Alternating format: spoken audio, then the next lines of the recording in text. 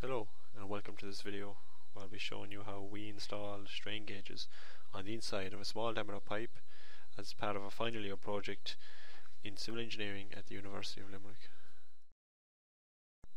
Firstly, after we had selected our pipe that we are going to install the strain gauges on, we proceeded to etch it using grade 400 abrasive paper.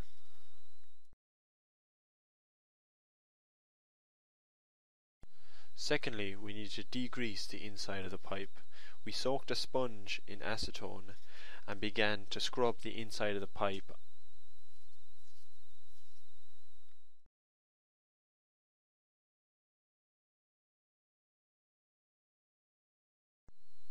Any acetone residue left on the inside of the pipe was cleaned by using a neutralizer.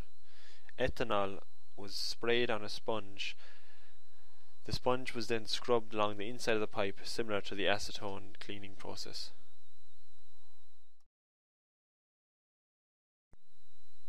In order to install the strain gauges on the inside of the pipe without damaging the pipe, we needed to manufacture our own installation tool.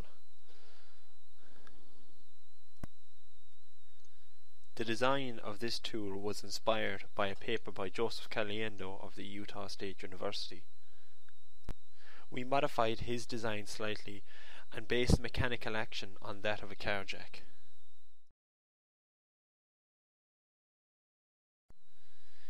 The installation tool has two adjacent arms. On these arms we first place a square of PVC tape.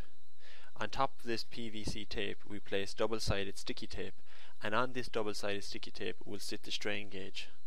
This serves as a temporary carrier to insert the strain gauge into the pipe.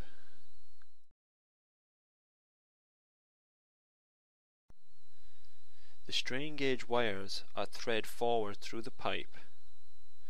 It is then carefully placed down and pressed up against this double-sided sticky tape. Once one strain gauge has been installed, the tool is spun around so a second strain gauge can be installed on the opposite wing. This allows us to install two strain gauges diametrically opposed so we can measure tension and compression.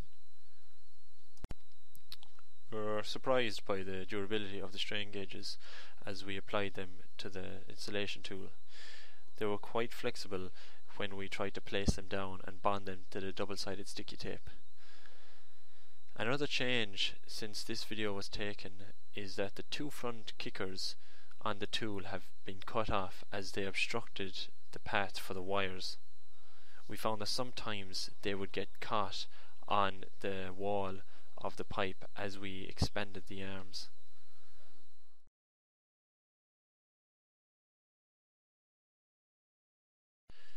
The adhesive we used to bond the strain gauges on the inside surface of the pipe was AE10 epoxy. This is made up of two parts. AE resin and curing agent 10. The mix ratio is roughly 10 is to 1.5.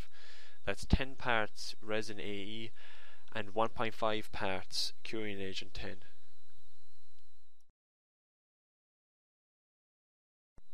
We only mixed a very small batch of AE10 epoxy as we are only installing two strain gauges at any one time.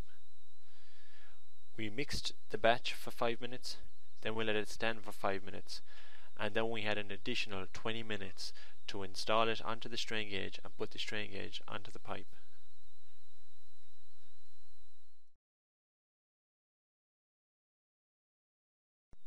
We found not to be too shy when applying the epoxy to the strain gauge, as any excess adhesive will spill over the side and be caught by the double-sided sticky tape.